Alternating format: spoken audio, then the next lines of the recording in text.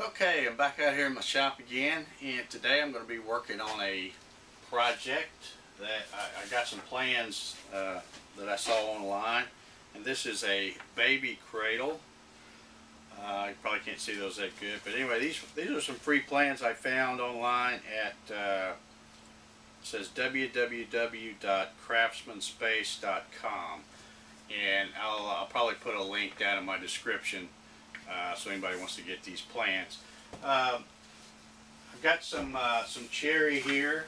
Uh, let me show you. I've got a couple of really big pieces of cherry. These things are these things are right at 17 inches wide, so I should have plenty of material uh, to make this. Uh, I'm going to be using my CNC router uh, for part of this. This I'm going to vary the plans a little bit. I'm not going to make it exactly like this, which I very seldom ever make anything exactly like the plans I get. And I'm, I'm going to uh, probably use the CNC router to engrave a little something on these uh, in inboard pieces here. And I'm also going to use to cut out the, uh, the rocker because it's got a very unique shape. And, uh, and probably the legs as well. Uh, probably going to cut two pieces and then put them together to, uh, to make the legs. But anyway, first step in uh, today's project is to uh, figure out where, because some of these boards it's got a couple of knots here. Uh, there are a few bad places, so I'm going to try to first cut my uh, pieces down to size and, and try to eliminate the uh, bad spots. And then I'm going to run them through my thickness sander that I now have. Uh, if you watched the video on that, I did that, uh, I don't know, two or three weeks ago. Finished that up, so I'll get to use that on this project. And uh, it's a good thing I made it plenty wide enough. It'll, it'll do 18 inches, so I'll be able to run these things through there and get them smoothed out, kind of get some of the scratches and stuff off of them, and then I'll get ready to uh, run them on the CNC. First step though, is to cut them down to size.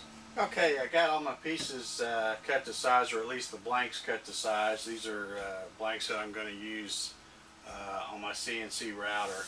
Uh, you can see here the front and the back of this cradle's uh, going to require some pieces. These are about 20 by 18, so I had to cut them 18 by 10 and, and glue up a couple of, of, panels for that. That's going to be the front and the back. And then I, okay, I got some other pieces here, some other blanks. I'm going to cut the uh, legs, which will be uh, actually I'll cut two pieces to make one leg because I'm going to uh, laminate two of those together.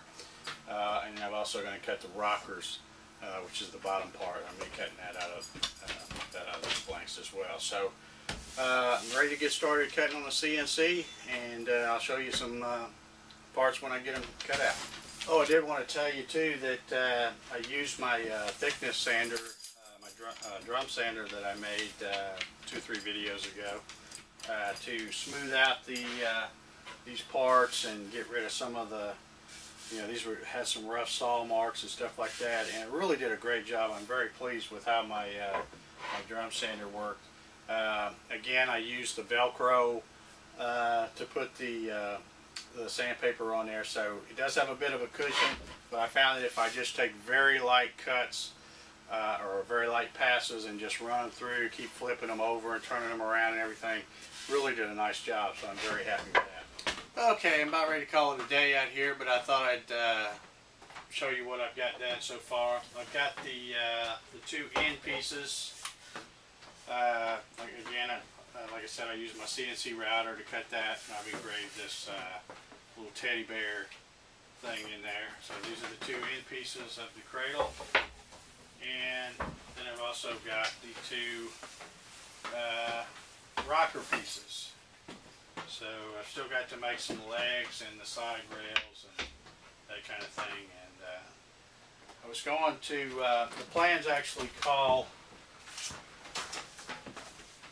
plans actually call for spindles and uh, I, I, do have a, uh, a, little lathe and I know what you're thinking you're like wait a minute Dave I've never seen your lathe in your shop. Well I've got a, small lathe uh, that I traded somebody something else for and uh, it never has made it out to the shop. I've got it in the garage played around with it a little bit but at any rate I don't think I'm going to try to since I'm new at uh, the lathe and I, I don't want to waste that much time trying to learn how to, to make these, so I think what I'm going to do is probably just make some kind of flat slats similar to uh, this shape or something. I don't know. I'll come up with something.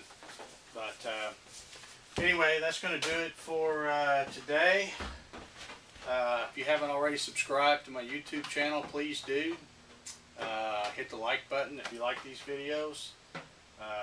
And uh, you know, once you subscribe, you'll you'll get uh, notifications of whenever I'm uploading a video. And I've, I've got all kinds of projects already on there, and already uh, you know a bunch more projects coming. Uh, actually, while this this was running on the CNC, you can see I've got a couple of uh, body blanks glued up here. I'm going to try uh, my hand at a couple of solid body guitars, so got some uh, blanks glued up for that. But I got to get this project finished first. So anyway, that's going to do it for today. And uh, when I get uh, back out here, probably be next weekend before I can get another uh, chance to get back out here and uh, work some more on this cradle. But thanks for watching. I appreciate all the new subscribers. And we'll catch you next time.